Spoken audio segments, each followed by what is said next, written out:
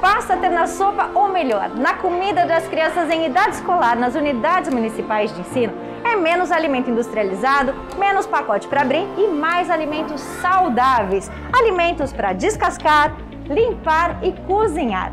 Com uma nova resolução do FNDE, legumes e verduras, por exemplo, passam a constar cinco dias da semana no cardápio, ou seja, todos os dias. Ela está alinhada com as diretrizes do Ministério da Saúde, baseada no Guia Alimentar para a População Brasileira, e que desse guia surgiu o famoso jargão desembale menos e descasque mais, priorizando sempre o consumo de alimentos in natura ou minimamente processados.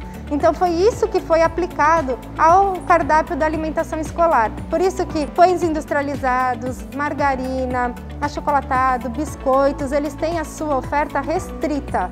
As frutas e verduras já faziam parte do nosso cardápio das refeições principais diariamente. Com as novas mudanças na legislação federal, a gente acrescentou mais frutas aos cardápios. Então, diariamente, além de verduras e legumes, temos oferta de frutas ou no almoço ou acompanhando o lanche intermediário.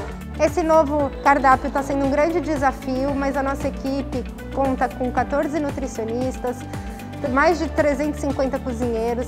Estamos em treinamento desde o ano passado com os cozinheiros.